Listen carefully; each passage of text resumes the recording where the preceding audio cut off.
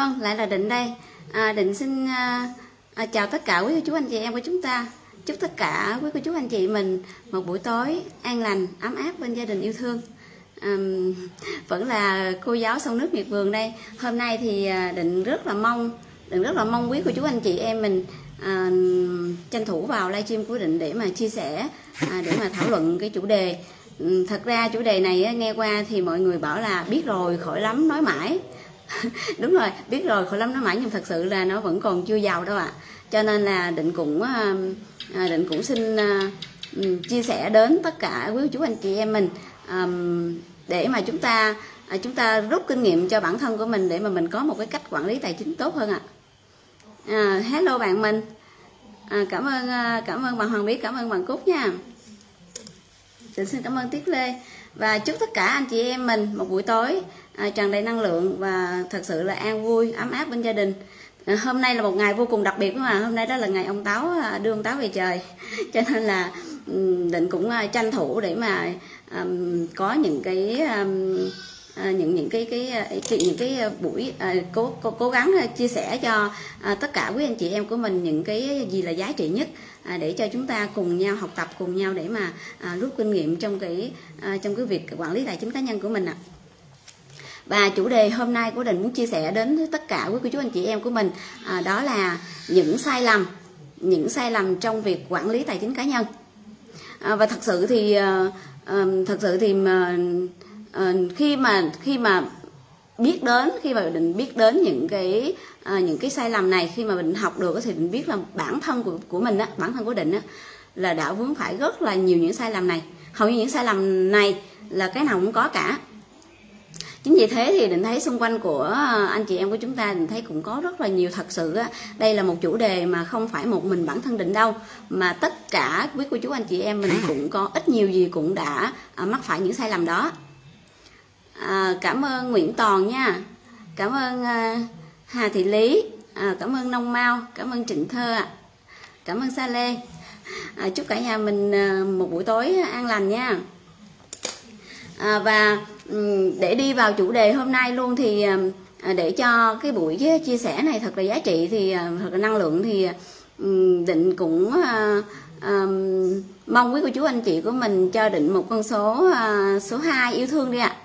Cho định một con số 2 yêu thương để định chia sẻ cho tất cả mọi người của mọi người một cái buổi tối thật là một cái bài học thật là giá trị. À, xin chào Trịnh Thơ. Định xin chào Trịnh Thơ định xin chào Hoàng Loan xin chào Đinh Ngát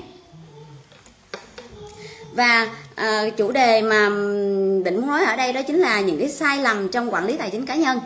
Và thật sự á thật sự khi mà um, khi mà vào một cái buổi học á thì à, định nghe định nghe là là là những cái cái buổi chia sẻ của tất cả quý cô chú anh chị em à, những cái anh em trong đội nhóm của mình à, vào trong cái môi trường học tập của mình thì định mới thấy được là à, trong 40 năm qua trong 4 41 hơn à, gần 40 42 năm qua thì mình đã mắc phải những cái sai lầm rất lớn trong việc quản lý tài chính cá nhân.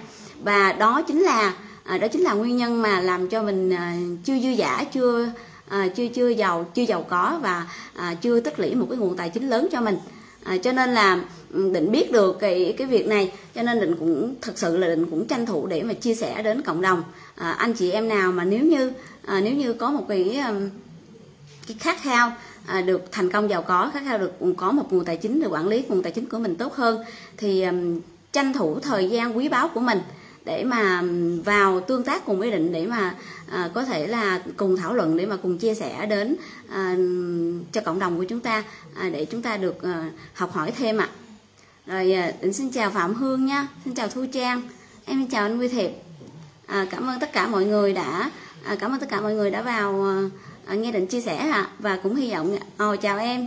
Cô chào toàn nha à, cũng mong là định cũng chia sẻ à, cho tất cả quý cô chú anh chị của mình để mà chúng ta từ đó chúng ta sẽ thấy được là à, bản thân của chúng ta chưa quản lý tốt về tài chính của mình ạ.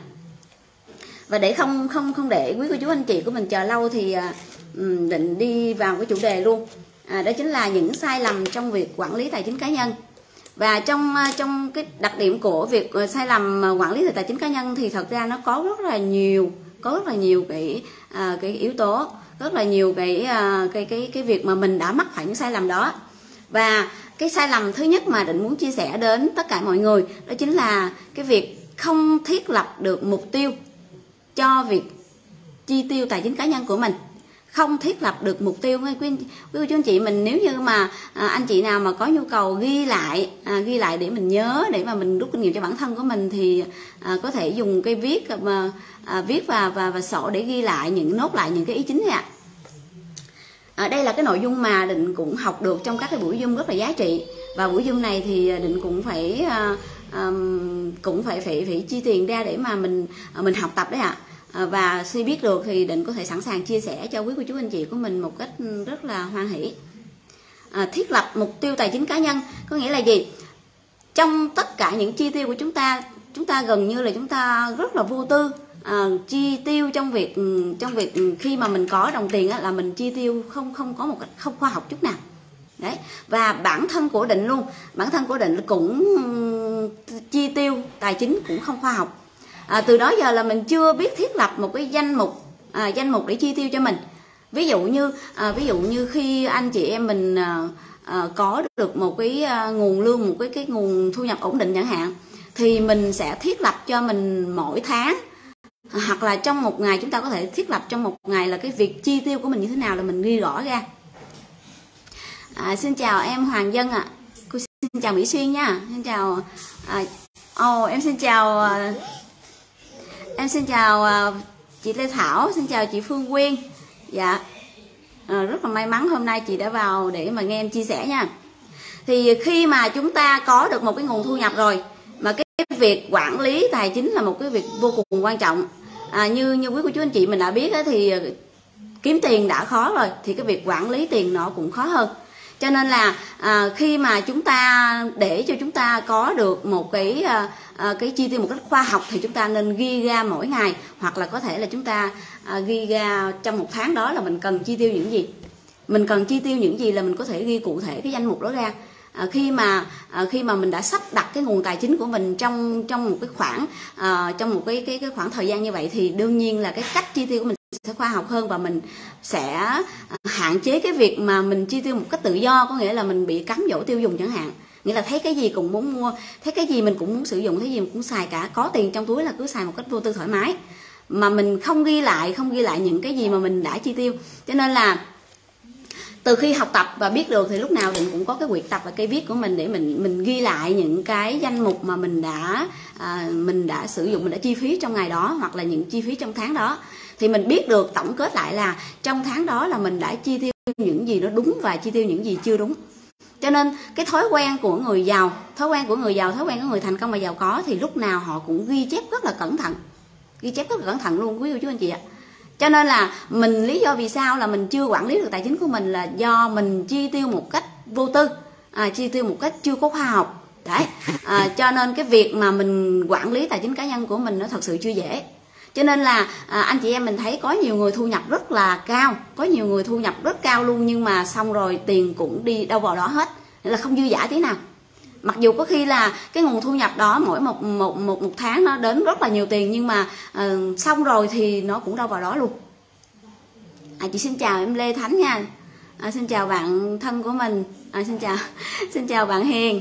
Rồi um, đấy cho nên là định cũng cũng cũng ờ, cũng cũng à, đưa ra cho mình một kế hoạch là mình phải ghi mỗi tháng là mình chi những gì mà mình mình mình cần tiêu những gì để rút kinh nghiệm trong tháng sau là mình sẽ có cái cách chi tiêu một cách khoa học hơn hợp lý hơn. Đấy. Và người giàu thật sự định nói nhắc lại một lần nữa à, đó chính là người giàu họ luôn có cái cách ghi chép và chi tiêu một cách cẩn thận khoa học. Đấy. Cho nên bản thân của mình là mình xem lại coi là mình có bao giờ mình ghi lại cái số tiền mà mình đã chi ra chưa? À, ví dụ như là à, chi trong cái tháng này là những cái chi tiêu ờ, lặt vặt cá nhân chẳng hạn rồi à, tiền điện tiền nước tiền cho con học tập hoặc là tiền cho à, cho phục vụ cho cái cái cho cho việc vui chơi của mình chẳng hạn hay là đám tiệc hiếu hỉ chẳng hạn. Thì thật ra là khi mà à, anh à, quý cô chú anh chị của mình nó có một cái khoản tiền à, ví dụ lãnh lương ra đi thì khi mà có những có những cái cái cái ờ, cái ờ, cái cái, cách mà cần chi tiêu á thì chúng ta chi tiêu chi xài rất là vô tư có tiền chi chi tài chi xài cực kỳ vô tư luôn. Và khi đến hết tiền rồi lúc đó mới hay là mình hết tiền rồi bắt đầu mình lại à, mình lại vay mượn chẳng hạn. Đấy. Và cái việc mà cái việc đó thì định thật sự vừa nói với tất cả quý chú anh chị của mình là đã định đã à, mắc phải cái sai lầm này vô cùng vô cùng nghiêm trọng luôn đấy cho nên là bây giờ mình học tập và mình đã biết cách rồi. Đấy cho nên cái việc ghi chép cẩn thận lại từ đó thì mình rút kinh nghiệm được là mình cần cân nhắc lại những gì mà mình nên chi.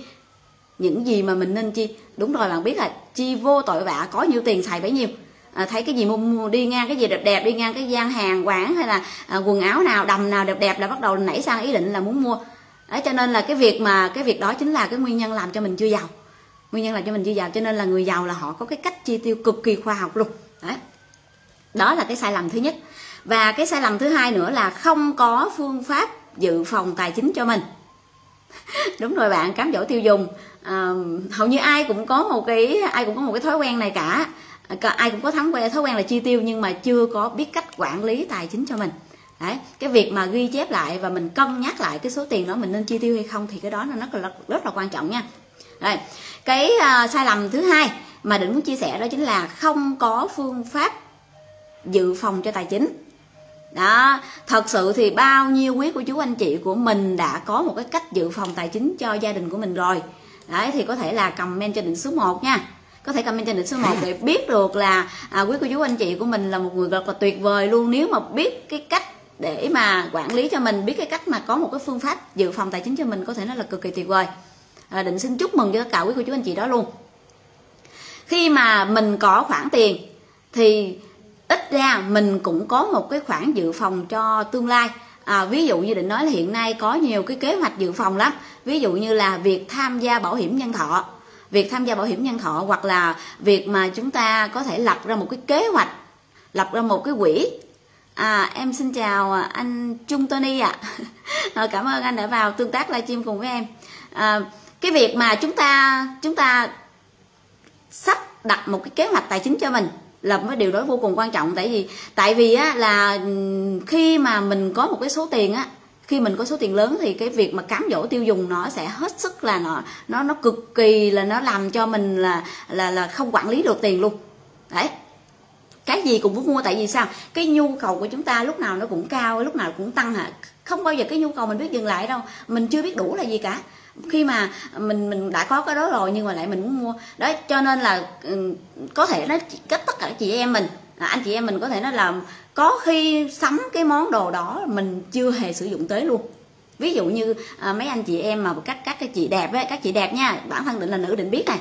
Bản thân của của mình đó là biết có những khi mà mình mua cái đó về rồi mình mua cái đầm một cái áo hay cái quần nào đó mình mua về mình treo đó là mình chỉ ngắm thôi chứ mình chưa bao giờ mặc luôn. Cái đó cảm thấy nó cực kỳ phung phí luôn đó cho nên cái việc mà mình cái việc mà mình tích lũy được một số tiền để mà mình dự phòng cho cái tài chính cho mình à, để có một cái phương pháp cho mình à, thông thường thì à, à quý cô chú anh chị có nhiều cái cách dự phòng lắm. Ờ đúng rồi khi mà ra iPhone 12 thì lại muốn iPhone 13 iPhone 14 chính xác là như vậy luôn. Nên thấy điện thoại mình nó hơi cùi bắp tí xíu là bắt đầu sao? Là bắt đầu lại có ý định là nảy sinh lại mua điện thoại mới rồi cho nên đó là một cái cực kỳ uh, sai lầm luôn. Đấy cho nên là à, đó là nguyên nhân làm cho mình không có đủ cái số tiền để mà mình tiết kiệm để mà mình quản lý tài chính của mình. À, và à, thật sự là hiện nay có rất là nhiều cái à, cái lĩnh vực để cho mình để cho mình tiết kiệm để cho mình cái cách để cho mình tiết kiệm lại cái cái dự phòng cái kế hoạch tài chính của mình trong tương lai. À, à một số à, một số người thì có thể là sử dụng cái cách là bỏ quỹ bằng cách là nuôi heo. À, rồi bên cạnh nuôi heo thì có thể là những người là người ta có thể là chơi hụi chẳng hạn. À, bản thân cố định cũng có thể có nhiều cái phương pháp như vậy đó nhưng mà thật sự là nó không kiên trì đâu. Để mà nó để để thực hiện một cái kiên trì bền vững thì có thể nói là nó cũng chưa hề dễ dàng chút nào. Đấy. Và hiện nay thì có rất là nhiều anh chị em mình à, dự phòng cái kế hoạch tài chính bằng cách là có thể là à, lập cho con mình một cái quỹ tiết kiệm trong gửi trong ngân hàng chẳng hạn à, gửi góp trong ngân hàng mỗi tháng. Rồi có những anh chị thì có thể là um, vô cho con mình một cái gói bảo hiểm nhân thọ à, các gói bảo hiểm để mà có được một cái quỹ à, lập một cái quỹ dự phòng cho bản thân của mình khi về hưu hoặc là cho con cái của mình trong tương lai. Nhưng mà định thấy là cái việc mà định trước đây định đã làm đã từng làm tư vấn bảo hiểm nhân thọ thì ít có ai mà người ta có thể uh, có thể mà mà um, chọn cái cách này lắm. Có ít có ai mà bảo là là là chọn cái cái cái quỹ. Ít có ai mà chịu chấp nhận cho mình bỏ cái số tiền ra mà mỗi năm như vậy để mà dự phòng cho cho cho tương lai của mình lắm. À, và cứ nghĩ là họ cứ nghĩ là cái số tiền đầu tư là mất đi cho nên là à, cái việc mà xác lập cho mình một cái phương pháp dự phòng tài chính là không phải ai cũng có không phải ai cũng lập cho mình và trong tất cả quý cô chú anh chị của mình định có thể tin tưởng rằng nếu như là 10 người thì khoảng cỡ 5 người là biết cái cách à, xác lập cho mình à, cái cách mà để để chúng ta dự trù một cái kế hoạch tài chính cho mình trong tương lai. À, bản thân có định trước đây mấy năm đấy khi mà định biết đến một cái à, lĩnh vực à, đầu tư kế hoạch à, bằng cách là tham gia bảo hiểm nhân thọ thì định cũng sẵn sàng đã cho đã tham gia cho con mình tham gia cho hai vợ chồng cái gói bảo hiểm nhân thọ. Thì đó chính là cái cách tích lũy để cho mình có một kế hoạch dự phòng trương tương lai. Đấy. Thì à, à, cho nên là à, cái ngoài cái việc mà chúng ta tham gia bảo hiểm nhân thọ hoặc là chúng ta có thể lập cho con mình một cái um, một cái cuốn sổ quỹ tiết kiệm hoặc là chúng ta có thể chơi hụi chúng ta bỏ heo thì cái việc đó thì quý cô chú anh chị của mình có thể là kiên trì thực hiện kiên trì nhé à, còn cái việc mà bỏ heo hoặc là chơi hụi thì định thấy là cũng rất là ok đấy nhưng mà có cái là chúng ta hay bị cám dỗ tiêu dùng lắm. Tuy nhiên cái số tiền lớn đem về là bắt đầu là chúng ta suy nghĩ tính việc chúng ta chi tiêu. Đấy và đó chính là cái nguyên nhân mà chúng ta chưa có được một cái kế hoạch cho mình và những cái kế hoạch đó à, tiền mà chúng ta không có không không không không có cái cách để mà giữ nó mà chúng ta cái cách tiêu tiền thì một cách hoang phí như vậy thì cái đó cũng là một cái việc chi chưa khoa học chút nào. Và cái nguyên nhân làm cho chúng ta chưa giàu. Đấy. Và cái sai lầm thứ ba mà định muốn chia sẻ đó chính là chi tiêu vượt với cái số thu nhập của mình. Kiếm được. À như vậy thì không biết là quý cô chú anh chị của mình có cái nằm trong cái sai lầm này không? Định cũng đã nằm trong sai lầm này luôn cho nên tất cả những sai lầm nào là định chia sẻ là định cũng đã vướng hết. Đấy. À, chị, à, cô xin chào diễm my nha. À, xin chào xin chào em thi cua. Rồi bữa nay rảnh rang bữa nay rảnh rang để vào đây để vào xem livestream của chị nha. Rồi giao hàng rồi bữa nay mấy hôm nay kịch liệt thật là thấy thương luôn.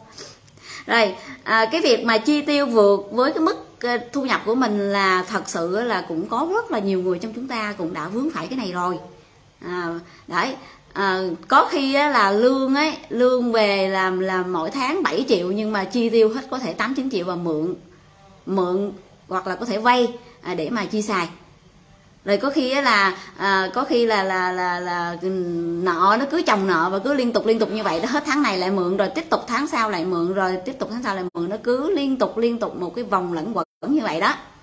Cho nên là do cái nhu cầu chi tiêu của mình cho nên là cái việc mà mình phạm phải những sai lầm này nó hết sức là đơn giản luôn chứ không phải nó nó khó khăn gì đâu. Tại vì cái việc có tiền là xài thôi. Đấy. Không bao giờ mà anh chị mình nó là để trong túi trong túi tiền thấy đồng tiền tự nhiên là nó bắt đầu nó nó nhảy múa lung tung rồi. Khi mà lãnh lương về là bắt đầu nó nhảy múa lung tung rồi đó rồi cái việc mà mà à, mà khi lương về bắt đầu sao? Là anh chị em mình có bắt đầu suy nghĩ tới vấn đề thôi bây giờ mình mở một cái tiệc mình ăn uống cái gì đó đi hoặc là tổ chức cái gì đó để mà hoặc là mua sắm cái gì đó cho à, cho ừ, thưởng cho bản thân của mình. À, đặc biệt là những cái ngày tết này nha. Đặc biệt là những cái ngày tết này là chi tiêu một cách vô tội vạ luôn là cái gì cũng muốn mua cái gì cũng muốn sắm hết. À, thật sự là đồ quần áo thì nhiều lắm rồi mặc không hết đó nhưng mà vẫn thích. Tại vì sao? Tại vì nó màu đen nó nó bắt mắt tại vì nó nó nó nó, nó phù hợp với xu thế. Đấy. À, cho nên là những cái tháng tết này là những cái tháng mà có thể nó là chi tiêu cực kỳ nhiều luôn. Đối với những anh chị em mà lãnh lương hai tháng giống như bản thân của định đây. Giống như bản thân của định đây là giáo viên nè, định làm, là tết này là lãnh hai tháng nè. Nhưng mà mình, nếu như mà định không có một cái kế hoạch chi tiêu này thì qua tết là có thể nói là là là cũng không biết làm sao luôn cho nên là cái việc mà nhờ cái những cái cái nhờ những cái lớp học tập mà định biết được cho nên định biết được cái cách quản lý tài chính của mình cho nên là cái cách chi tiêu của mình khoa học hơn để mà mình có thể à, chi tiêu làm sao mà nó có thể là à, hợp lý và trong hai cái tháng mình có thể là căng đều cái cái nguồn tài chính của mình ra để mà qua tết mình không bị khủng hoảng về tài chính không bị cháy về cái túi tiền của mình. Đấy. Cho nên là cái việc mà chi tiêu vượt quá cái thu nhập kiếm được thì cái chuyện này nó nó nghe nó một cái chủ đề một cái đề tài một cái sai lầm mà có thể nói là nó diễn ra Ờ, nhiều xung quanh chúng ta luôn chứ không phải là riêng người bản thân của mình. Đấy. và lúc nào cũng nghe mấy anh chị mình than là hết tiền. Cuối tháng là hết tiền. Chưa tới cuối tháng nữa hết tiền. Định trước đây cũng vậy luôn. À, bạn mình hỏi mình mượn cái trời còn tiền đâu nữa mà cho mày mượn. Tao bản thân tao tao không còn tiền nữa làm sao mà có tiền cho mày mượn đây? Đấy cho nên là cái việc cái việc mà mà mà mà ừ, cái việc mà mà à, chi tiêu là là là đó là một cái bệnh đó là cái bệnh của của của tất cả mọi người. Nên là nếu như mà anh chị em mình nghe được biết được cái à, cái cái những cái sai lầm mà đừng chia sẻ này thì anh chị mình có thể cân nhắc lại à, cân nhắc lại nha. Rồi đó là cái sai lầm thứ ba. Và sai lầm thứ tư đó chính là đầu tư khả năng đầu tư vượt quá cái khả năng và sử dụng đòn bẩy quá cao à, cái này thì cũng có gì cũng có xảy ra rất là nhiều luôn nghe quý của chú anh chị mình nha. À, tuy nhiên thì cũng có phần lớn là những người làm công á là họ ừ, không có cái tư duy để đầu tư không tư duy đầu tư. Khi mà um, được chia sẻ một cái kế hoạch đầu tư nào đó thì chưa có kiến thức và um, nếu như mà việc mà à, mà mà thiếu kiến thức thừa lòng tham rồi sau đó là vay tiền của người này vay tiền người kia hoặc là vay tiền của ngân hàng để mà à, đầu tư một cái quỹ nào đó đầu tư một cái lĩnh vực đầu tư nào đó thì cái đó là một cái điều vô cùng nguy hiểm. Nó vô cùng nguy hiểm cho à, cho cho cái túi tiền của mình luôn. Và thật sự mà nói định cũng đã từng như vậy luôn rồi định đã từng như vậy rồi. Nên là cái tiền lương của mình tích lũy tiền lương của mình tích lũy hàng hàng tháng như vậy đó không có nhiều. Nhưng mà khi mà nghe một cái lĩnh vực đầu tư nào đó cái mình bắt đầu là mình thấy là à, à có tiền ngay có tiền ngay. Cho nên là có thể là sẵn sàng vay cho mình một cái số tiền lớn để mà mình bỏ vào cái cái lĩnh vực đầu tư tài chính đó. À, định đã từng sai lầm cái vấn đề đó rồi. Cho nên là xung quanh chúng ta cũng không phải là không có. Nhưng mà tuy nhiên thì à, thông thường là những người làm công ấy à, em xin chào anh Huy Thiệp nha. À, xin chào Hoàng Cúc dạ dạ cảm ơn anh ạ. À. à, xin chào Hoàng Cúc nha. Rồi chúc cho tất cả anh chị em của mình một buổi tối thật là an bình nha. Rồi cái việc mà mà mà cái việc đầu tư mà thiếu kiến thức là cái việc có thể nói là xảy ra rất là nhiều chính vì thiếu kiến thức đó cho nên là chúng ta đã bị mắc sai lầm mà bị mất tiền. Mất tiền cho nên là à, rốt cục là gì? Là chúng ta phải gánh được một gánh gánh nợ một gánh nợ. Rồi à, cô xin chào ngọc hân nha đây, như vậy thì cái cái cái việc mà chúng ta vay tiền để mà chúng ta đầu tư một lĩnh vực nào đó thì có phải nó quá nguy hiểm không ạ? Đặc biệt là khi mà chúng ta không có kiến thức.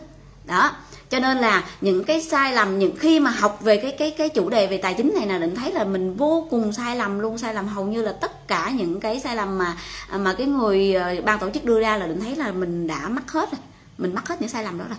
Đấy đã từng vay ngân hàng đã từng vay nợ bên ngoài để mà mình đầu tư rồi đầu tư không thành công thì cuối cùng cuối cùng là mình à, mình sẽ giải quyết món nợ đó. Đấy. Và cho nên là bây giờ định đã biết được điều đó rồi cho nên cái việc mà cái việc mà mình tập trung đầu tư vào kiến thức cho mình trước đã đầu tư tập trung vào kiến thức cho mình trước đã cho nên là việc sử dụng đòn bẩy mà trong khi đó mình không có kiến thức một lĩnh vực tài chính nào đó thì nó vô cùng à, nó vô cùng chưa dễ nó vô cùng chưa thành công. Nó không thể nào dễ dàng cho mình đem đến sự thành công được khi mà cái đầu mình trống rỗng mà mình lại bỏ ra số tiền quá lớn vượt quá cái tư duy của mình. Cho nên là à, tư duy của mình đến đâu thì tầm của mình tăng đến đó tầm mình tăng đến đó thì tiền của mình sẽ đến đó thôi. À, cho nên là khi mà cái đầu rỗng khi mà cái đầu rỗng mà đem tiền mang đi đầu tư thì chắc chắn thì nó sẽ à, nó nó nó sẽ chưa dễ dàng để thành công nha cả nhà. Đấy.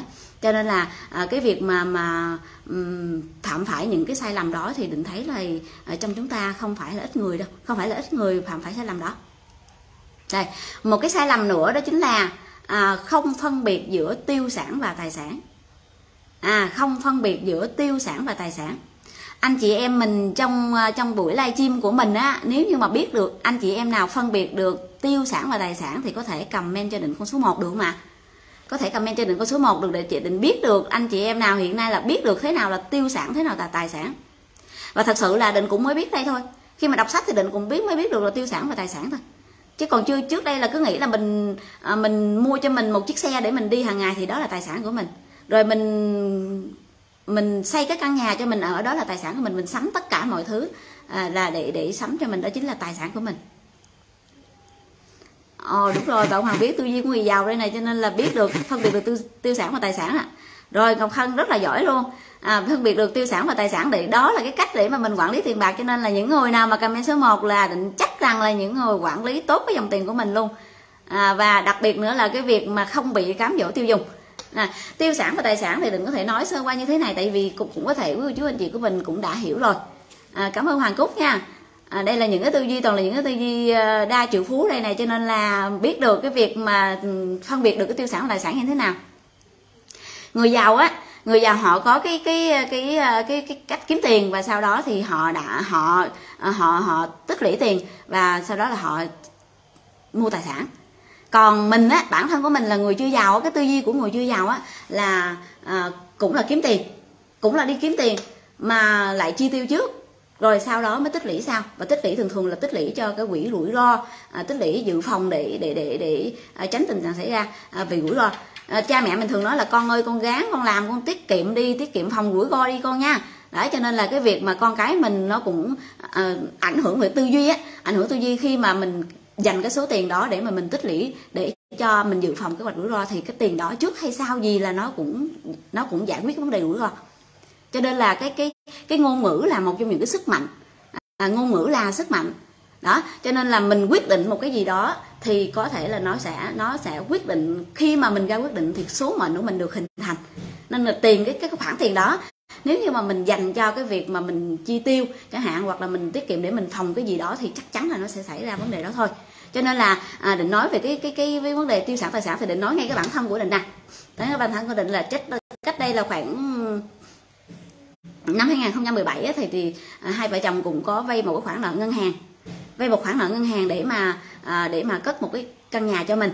Như vậy thì cái việc đó là định cứ nghĩ đó là tài sản. Định cứ nghĩ khi mà mình định định sắm một cái tài sản đó à, mình mình xây dựng cái căn nhà đó xong rồi thì mình ở nơi đó là tài sản của mình. Nhưng thực chất đó không phải là tài sản anh chị ạ. Đó không phải là tài sản.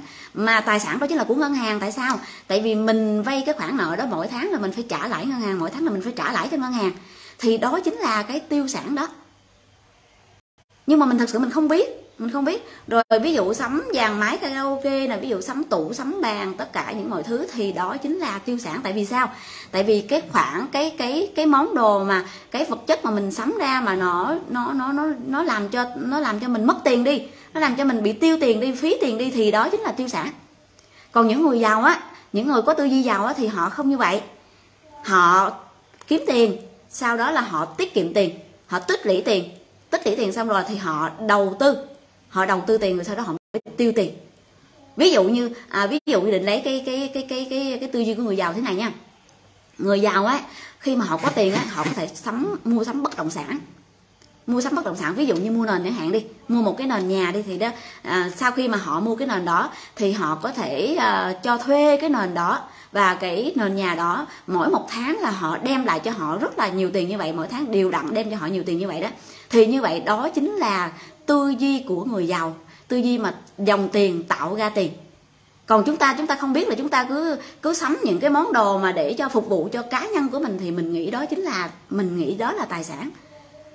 Thật sự khi mà mà học được cái tư duy này là định mới vỡ òa ra là trời ơi, mình đã sai lầm nghiêm trọng luôn. Thật sự là mình là, mình rất là sai lầm luôn. Sắm chiếc xe lúc nào cũng mừng, cũng cảm thấy là, mình cảm thấy là mình mừng. Vì sao? Mình sắm được cái tài sản rồi. Cái tài sản là nó giúp cho mình đi mỗi ngày nhưng mà ví dụ như mà định sắm chiếc xe mà định cho thuê, định sắm chiếc xe mà để định định định cho thuê để mà có cái dòng tiền mỗi ngày cho định thì cái đó mới là tài sản. Rồi khi mà mình mua được một cái căn nhà mà mình đi cho thuê căn nhà đó, nó tạo ra dòng tiền cho mình thì đó là tài sản. Cho nên là nói một cách, nói một cách chung chung, nói một cách dễ hiểu hơn là khi mà mình sắm cái món đồ đó mà tạo ra cái dòng tiền thu nhập cho mình mỗi ngày thì mỗi tháng thì đó chính là tài sản nha cả nhà còn cái việc mà mình mua sắm cái món đồ mà nó mất tiền của mình đi thì đó chính là tiêu sản. Cho nên trước đây khi mà có một cái, khi mà ví dụ như định hút mùi chẳng hạn đi, hoặc là định lãnh lương chẳng hạn, bắt đầu trong đầu là suy nghĩ à. trong đầu là suy nghĩ ở bây giờ mình phải mua cái gì để mà mình mình mình mình trả cho mình để ra mình mua gì mình thưởng cho mình chứ?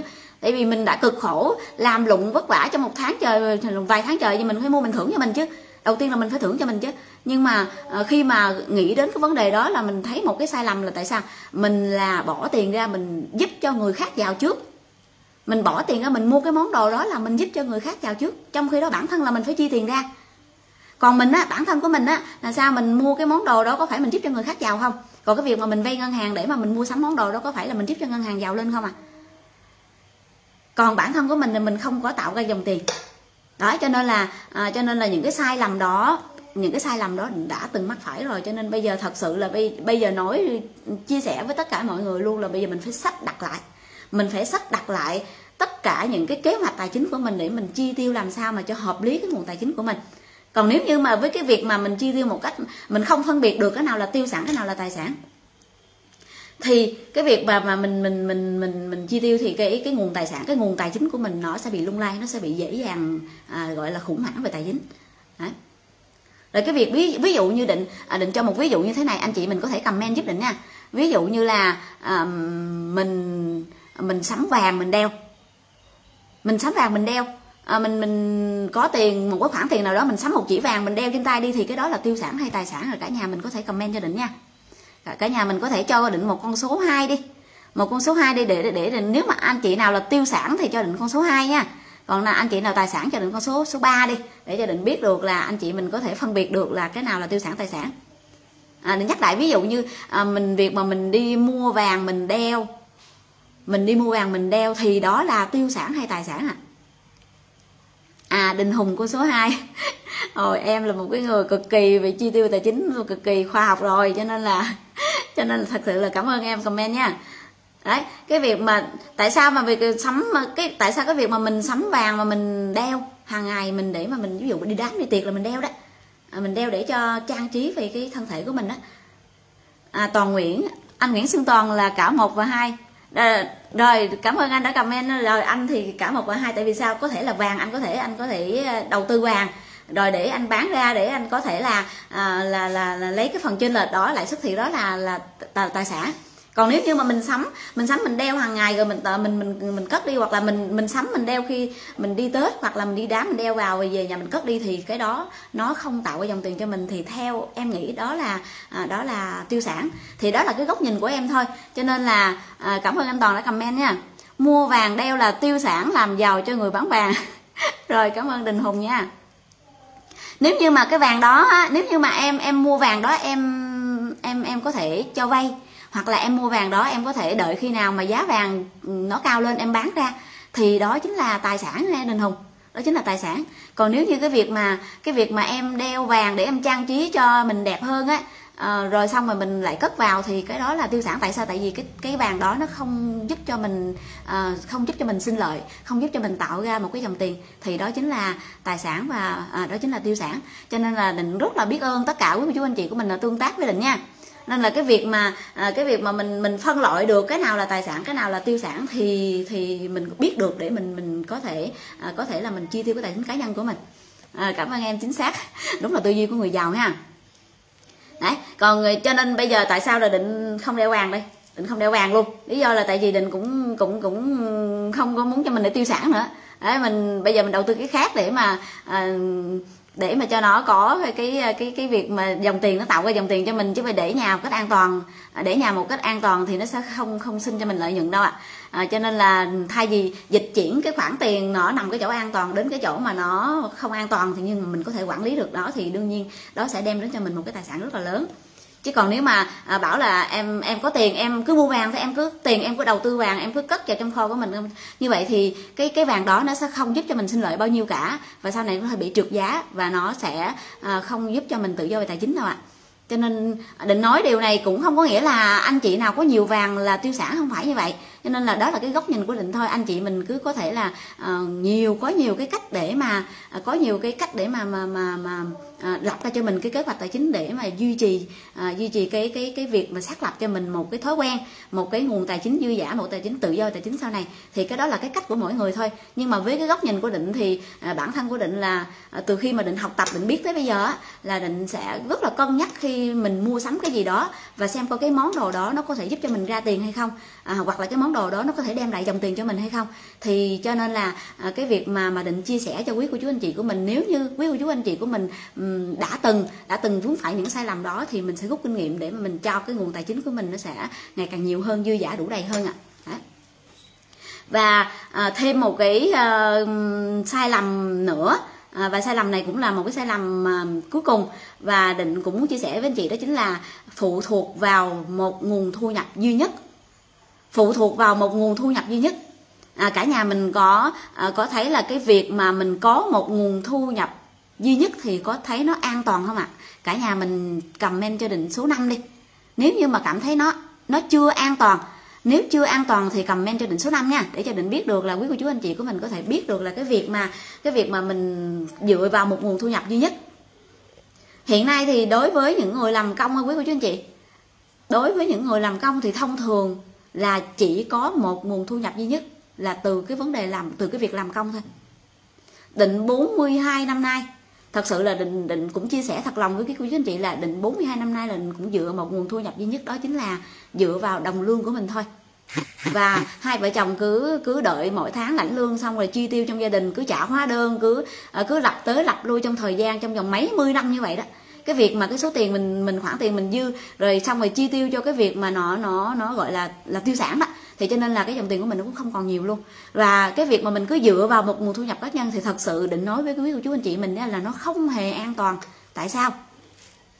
Tại vì khi mà mình làm công, mình có một nguồn thu nhập thì nếu như nếu như trong cuộc sống mà chúng ta có một cái vấn đề gì đó nó à, nó xảy ra không mong muốn, không bao giờ an toàn, đúng rồi em à, định cảm ơn à, bạn hoàng biết nha không an toàn.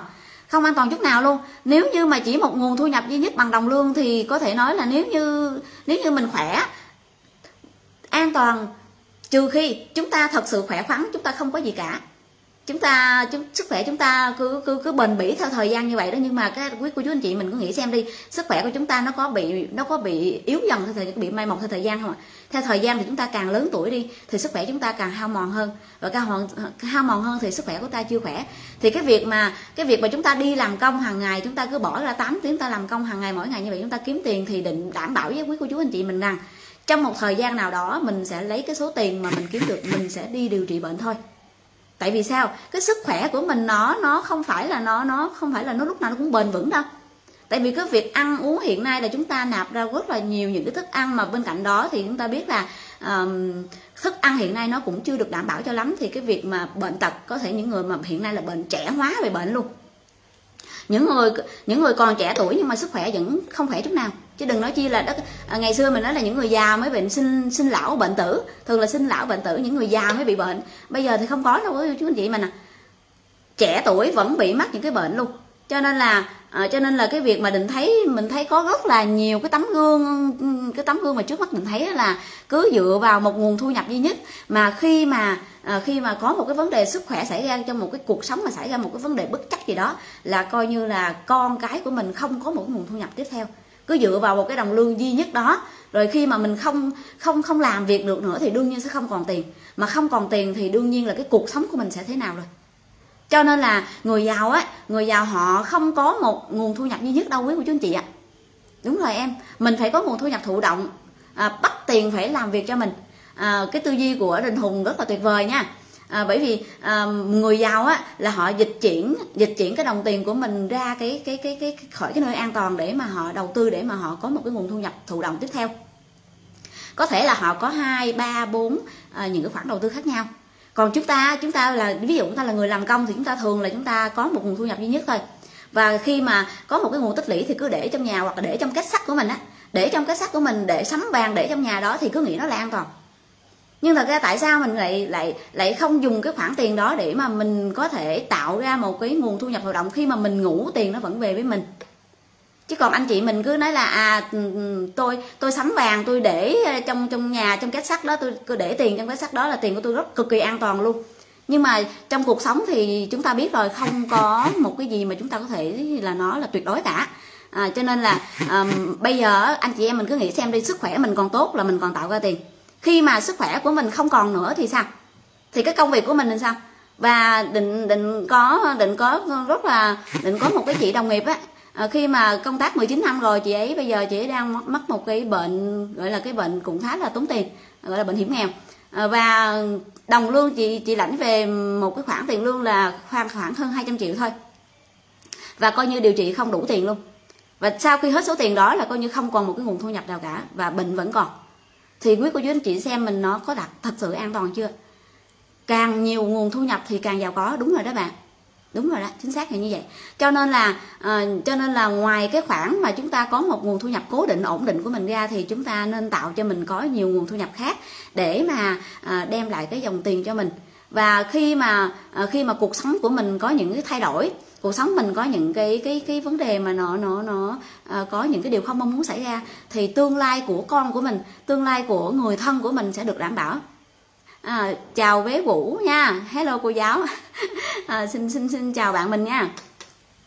Rồi như vậy thì cái việc mà à, cái việc mà mà hiện nay á, để nói á, là từ một cái người làm công là chúng ta chúng ta biết được đến cái kim tứ đồ á biết được kim tứ đồ thì dịch chuyển định định biết được khi định biết được kim tứ đồ á, là mình mình đứng ở vị trí số 1 nghĩa là mình là người làm công thì định đã sẵn sàng uh, xé rào à, định đã chuyển hướng sang cái à, lĩnh vực à, thứ ba và thứ tư đấy là kinh doanh và đầu tư cho nên là định à, định nói là mình, bản thân của mình trước đây là làm công bao nhiêu năm nay rồi, cho nên bây giờ mình biết được cái tư duy này rồi, tư duy của mình mở rồi. Cho nên là mình phải đầu tư cái số tiền của mình để cho mình có một cái nguồn thu nhập thụ động. Ngoài cái việc làm công của mình ra thì à, cái tiền của mình nó có thể là tạo ra tiền. Người giàu ấy, người giàu là bắt tiền để phục vụ cho họ, nghĩa là họ dùng tiền để tạo ra tiền.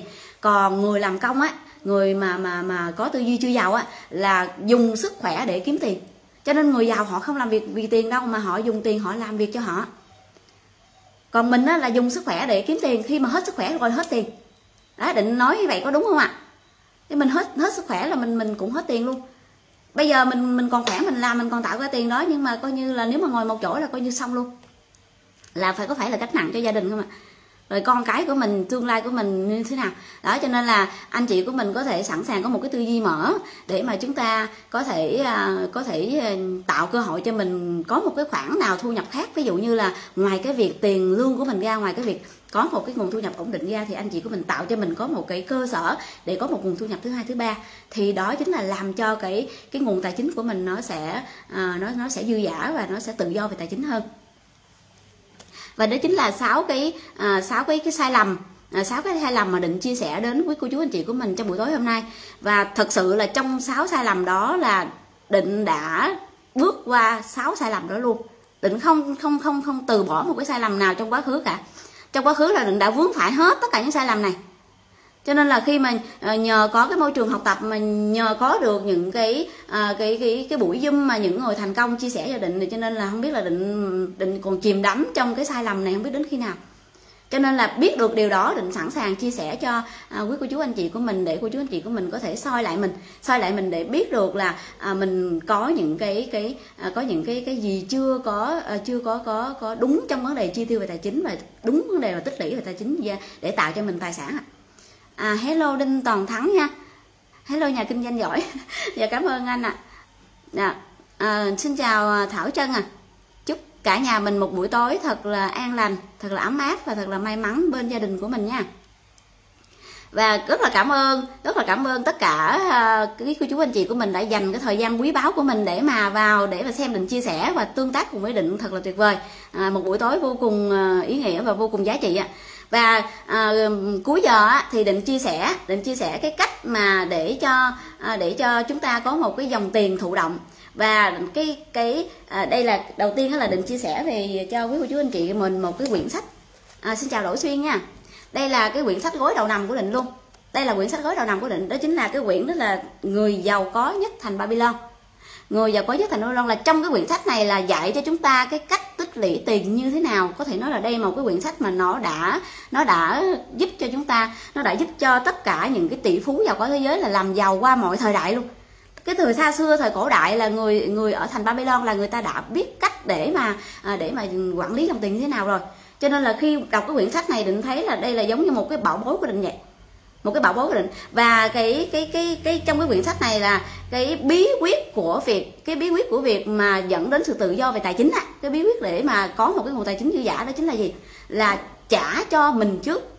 À cái việc mà uh, qua cái nội dung cái quyển sách này thì định đúc kết lại một cái một cái uh, cái cái cách để mà chúng ta uh, chúng ta tích lũy dòng tiền đó chính là trả cho mình trước trả cho mình trước nghĩa là thế nào. Khi mà chúng ta lãnh lương về hoặc là chúng ta có một cái dòng tiền gì đó thì mình sẽ thưởng cho mình trước. Thưởng cho mình trước bằng cách là mình cất cái tiền lại để mà mình tiết kiệm cho mình. Chứ không phải là mình trả cho mình trước, có nghĩa là mình đi mua món đồ gì đó để mình tặng cho mình. Để mà mình thưởng cho mình thì một cái món vật chất nào đó thì cái đó nó không phải rồi. Cái đó là sai lầm mà mình đã từng vướng cái sai lầm đó rồi cho nên cái việc mà trả cho mình trước là là sao? Trả cho mình trước là mình lấy cái tiền đó là mình bỏ vào cái quỹ tự do tài chính của mình. Đây là tiền của mình nè đây là tiền để dành cho mình mình thưởng cho bản thân mình nè. Sau đó mình mới chi tiêu. Đấy. Và à, và đây là cái việc mà định làm mỗi ngày. Đây là cái việc định làm mỗi ngày. Đây là cái cống mà quỹ tự do tài chính thông thường thì người giàu ấy thông thường thì người giàu họ có 6 chiếc lọ họ sáu chiếc lọ để họ à, để họ chi tiêu cho cái việc mà tích lũy tài chính ví dụ như là quỹ về à, về tự do tài chính quỹ về thưởng cho bản thân của mình à, để phục vụ cho bản thân của mình đi du lịch chẳng hạn rồi quỹ từ thiện chẳng hạn. Rồi nhìn chung là sáu chiếc lọ là nó có sáu cái loại quỹ khác nhau. Nhưng mà bây giờ đối với chị em mình có cái nguồn thu nhập chưa cao đối với nguồn thu nhập chưa cao thì mình sẽ tích lũy mình sẽ làm lập một cái quỹ. Và cái quỹ này á, quan trọng là ít tiền hay nhiều tiền nó không quan trọng đâu anh chị mà quan trọng là cái thói quen cái thói quen có nghĩa là khi mà mỗi sáng à mỗi sáng là cái việc đầu tiên định trước khi mà định chi tiêu á thì định đã bỏ vào cái quỹ tự do này trước rồi. Sáng sớm khi mà sáng sớm khi mà định chuẩn bị uh, cho mình một cái ngày mới á, là định đã bỏ vào quỹ tự do tài chính của mình mà định ghi lên này luôn nè. Định ghi trên cái nách này đó là quỹ tự do về tài chính và cứ bỏ mỗi ngày mỗi ngày. Và định xác lập được cái cái quỹ tự do tài chính của mình mỗi ngày. Và cái uh, như quý cô chú anh chị biết là quy luật của vũ trụ đó là có quy luật tập trung cái nào tập trung cái đó mở rộng. Khi mà mình tập trung vào cái quỹ tự do tài chính của mình thì quỹ tự do tài chính của mình nó sẽ mở ra. Và à, bên cạnh cái việc mà định bỏ tiền vào đây thì định có một cái cuốn tập như này. Định có một cái cuốn tập để mà định ghi lại từng ngày một mỗi một ngày là bao nhiêu tiền mỗi một ngày định bỏ bao nhiêu. Và định ghi kiểm đếm số dư mỗi ngày nào sáng nào định cũng kiểm đếm số dư. Và chính vì nhờ vào cái kiểm đếm số dư này à, đây định cứ ghi thế này và cứ ghi dồn như vậy, mỗi ngày cứ ghi dồn như vậy đi, thì anh chị mình cứ tính cái số tiền mình bao nhiêu và mỗi một ngày là mình cứ suy nghĩ, mình tập trung số tiền mình đang có là mình mình biết ơn. Khi mà khi mà mình bỏ vào tiền vào trong cống là mình biết ơn bản thân của mình là mình đã trả cho mình trước. Và thậm chí mình ăn mừng, mình ăn mừng khi mà mình đã làm được cái điều đó mỗi ngày. Thì thì khi mà làm như vậy thì tiềm thức của mình, vũ trụ của mình sẽ biết được à bản thân của mình là người chi tiêu rất là khoa học. Bản thân của mình biết biết quản lý dòng tiền. Thì khi mà mình biết quản lý dòng tiền thì vũ trụ mới cho mình thêm. Giống như bây giờ cô chú anh chị của mình có thể à, có, có có thể có thể mình mình có thể suy nghĩ thế này nè. À, ví dụ con của mình đi con của mình nó nó biết nó biết xài 10 ngàn thì mình mới cho nó 10 ngàn. Còn con của mình nó xài một biết nó biết sử dụng được 100 ngàn thì mình mới cho nó 100 nào có khi nào mình cho nó vượt quá cái số đó không ạ? À? ví dụ những đứa trẻ những đứa con của mình khi mà nó lớn lên đi nó đi học tiểu học chẳng hạn đi có khó khi nào anh chị mình có cho nó cái số tiền vượt quá cái cái khả năng kiểm soát của nó không ạ à? ví dụ như nó nó nó biết được cái tờ 510 ngàn thôi nhưng mà mình cho nó hai ba trăm ngàn chẳng hạn thì quý cô chú anh chị của mình có sẵn sàng cho nó không đấy cho nên là cái việc mà định nói là mình chưa sẵn sàng để mà mình cho nó cái khoản tiền bởi vì nó chưa biết xài thì cũng giống như vũ trụ vậy đó bản thân của mình không quản lý được dòng tiền thì vũ trụ sẽ không cho mình số tiền lớn đâu cho nên là định mới nói là cái việc à, xin chào lê ngọc ạ à. dạ chào chị khi mà à, mình mình tạo lập cho mình một cái thói quen hàng ngày là mình sẽ à, mình sẽ sẽ giống như là mình giao tiếp với tiềm thức của mình giao tiếp với vũ trụ rằng vũ trụ nói là à mình đã biết được quản lý dòng tiền thì vũ trụ sẽ cho mình thêm. Đó là định đọc trong cái cuốn luật hấp dẫn đó cái cuốn luật hấp dẫn đã chỉ cho định biết cái cách là quản lý. À, trong trong cái quyển mà như định nói là cái quyển mà người giàu có nhất thành Babylon đó là cái cái bỏ bối để mà cho những người thành công giàu có học theo và định bản thân định định cũng biết được à, cái cái bí mật này. Và đọc luật hấp dẫn thì định biết được là khi mà mình mình mình quản lý dòng tiền tốt của mình mình nói lời biết ơn cái à, cái việc mà mình làm mỗi ngày thì vũ trụ sẽ cho mình thêm cho nên là định thấy nó rất là vi diệu luôn. Cái việc mà định bỏ vào quỹ tự do tài chính của ngày mỗi ngày là định ghi lại số dư là định kiểm đếm số dư nè, định nhớ, định tập trung cái cái cái số tiền đó trong đầu, cứ nhớ mãi cái số tiền đó. Rồi à, định ăn mừng khi mà định cảm thấy định rất là mừng khi mà mình mình đã làm được điều đó rồi, thì cái cảm thấy cái số tiền của mình nó tăng lên mỗi ngày mỗi ngày nó rất là nhanh luôn. Đấy, đó là một cái cái điều mà vi diệu. Nếu anh chị em mình mà nếu như tin tưởng thì anh chị mình cứ thực hiện theo. Nó không phải là cái gì tâm linh đâu ạ. À. đây là một cái khoa học thôi cả nhà đây là một cái cái cái cái cái um, có thể nói là một cái lĩnh vực mà định biết đây là một cái môn khoa học. Ờ, chứ không phải là một cái gì đó tâm linh ghê gớm cả nó không có gì là mi, ma mị cả đâu. Cho nên là anh chị mình cứ làm đi nếu mà nếu mà có niềm tin thì cứ làm làm theo. Và đây là cái cách mà định cũng học theo người thành công giàu có thôi. Bây giờ bây giờ người thành công giàu có làm gì là mình làm theo như vậy đi. Tại vì họ đã đi rồi họ đã biết rồi họ đã thành công rồi. Giờ mình chỉ có cách là mình theo họ thôi mình dòn mình dùng cái đòn bẩy trí tuệ của mình mình để mình theo họ mình mình làm theo họ đi. Thì người thành công làm sao? Mình làm vậy thì mình sẽ thành công thôi. Cho nên là cái việc mà làm à, cái việc mà mình làm đúng mỗi ngày mình làm đủ mỗi ngày mình làm đều mỗi ngày như vậy thì thì chắc chắn là cái quỹ tự do tài chính của mình nó sẽ nó sẽ to dần lên to dần lên. Và cái quỹ tự do tài chính này là mình nhớ là mình ghi quỹ tự do tài chính không phải là quỹ rủi ro đâu nha cả nhà. Nếu mà để là quỹ rủi ro thì cái tiền này chắc chắn là nó sẽ giải quyết vấn đề rủi ro còn quỹ tự do tài chính thì chắc chắn số tiền này nó sẽ giúp cho anh chị mình tự do về tài chính. Mình quy định cái số tiền đó như thế nào thì cái số tiền cái sứ mệnh đồng tiền đó sẽ như thế đó. Cho nên à, hình như bị mất tiếng à. Không biết là cả nhà mình có nghe rõ không? Anh quý cô chú anh chị mình có nghe rõ không? Comment cho mình số 1 đi. Có à, bạn à, có chị Lê Ngọc bảo là hình như mất tiếng. Không biết là do cái mạng của định không biết thế nào. Cả nhà mình có thể comment số 1 nha. Đây là cái cách à, đây là cái cách mà định học được và định chia sẻ lại cho cộng đồng. À, nếu mà anh chị em mình ờ, tin tưởng thì anh chị em mình cứ thực hiện theo đi ạ. À. à, và cái việc mà à, cái việc xác lập cho mình một thói quen à, thì à, giống như là là cái việc mà mình nói làm hành động mình hành động mỗi ngày mỗi ngày như vậy đó thì nó sẽ cho ra kết quả tốt thôi. À, tập trung về thì thành công thì thành công sẽ tới tập trung vào kết quả kết quả sẽ tới và tập trung về tiền thì tiền sẽ về. Còn tập trung vào những cái tiêu cực thì tiêu cực sẽ đến. Đó là luật hấp dẫn của vũ trụ đó nếu mà anh chị mình cứ không tập trung vào tiền mà cứ không tập trung vào cái mục tiêu của mình à, không tập trung vào cái cái số tiền mình đang mong muốn mà cứ tập trung vào số tiền mình đang thiếu thốn thì mình tập trung vào nợ thì cứ nợ nó phình to ra thôi. Cho nên là à, đó là cái cái bí mật của người thành công và giàu có. À, cho nên là định chia sẻ lại cho tất cả quý cô chú anh chị của mình để à, mình biết được điều đó mình biết được điều đó mình thực hiện. Đây là cái cách mà định cũng cho đi thôi định thì không không không à, không không giúp cho à, cho cộng đồng mình để có nhiều tiền nhưng mà định có thể giúp cho cộng đồng mình kiếm thật nhiều tiền. Nên là mình cho người ta cần câu thay vì cho người ta con cá. Đấy cho người ta con cá thì người ta cũng ăn hết thôi cho mình cần câu thì họ tự đi cách câu biết cái cách câu là để câu cho mình có con cá để ăn.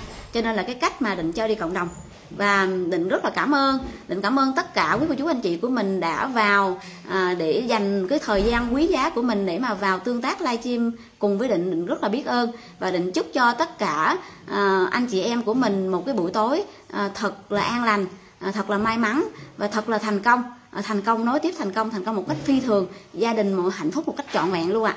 À. và thời gian cũng đã à, dài rồi cho nên là định à, xin tạm dừng ở đây và định à, tạm biệt tất cả quý cô chú anh chị em của mình. Và định hẹn tất cả quý cô chú anh chị của mình trong một cái buổi livestream tiếp theo và định sẽ chia sẻ những cái nội những cái nội dung những cái tư duy về những người thành công và giàu có để cho à, chúng ta cùng nhau học tập để chúng ta cùng nhau phát triển à, cái cái tư duy của mình thay đổi bản thân của mình và giúp cho cái nguồn tài chính của mình ngày càng à, tăng hơn và ngày càng tự do về tài chính hơn.